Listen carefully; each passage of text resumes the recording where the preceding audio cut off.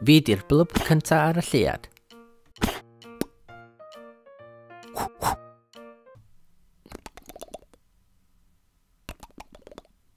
Rwan yn ôl i'r roced.